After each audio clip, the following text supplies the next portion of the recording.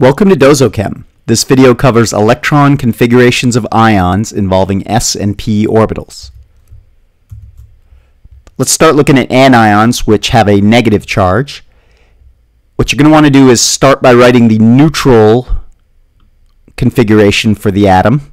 And then, if it's got a negative charge, you're going to add electrons. So, for the example, sulfur S, um, you start with Ne3S2 3p4 and that's the configuration of neutral sulfur. If you want to make it S2 minus, that means there's two extra electrons. So we're just going to write the same configuration we had before, but change the ending from 4 to a 6 to show the extra electrons.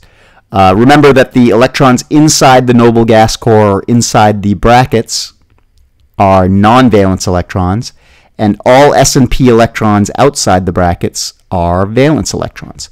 So if we want to now do cations, which have a positive charge, you're going to do the same thing you did before. Start with the neutral atom, and then start removing as many electrons as necessary in this order. First, you're going to remove the valence p electrons, and then if you need to remove more than that, then you would start removing the valence s. So this example, we have silicon Si, starts out Ne3S2 3p2, if I then want to make it 2 plus, that means I have to remove two electrons. So I have to choose which electrons to remove. And up here we said remove the valence p first. So you're going to get rid of these two first. So that would leave you Ne3S2.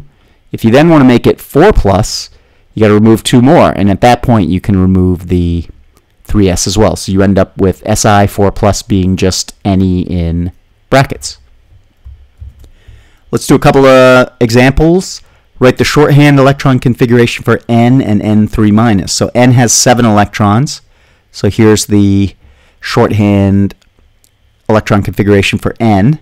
And then N3 minus, negative charge, so we're going to add three electrons. So we just take what we wrote before and change the ending from a 3 to a 6. So now it ends in 2p6 instead of 2p3. And then down below, write the shorthand electron configuration for Al neutral, Al plus and Al3 plus. So aluminum has 13 electrons. Here's the neutral aluminum atoms configuration.